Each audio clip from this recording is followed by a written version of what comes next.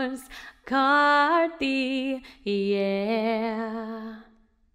One happy birthday dot com.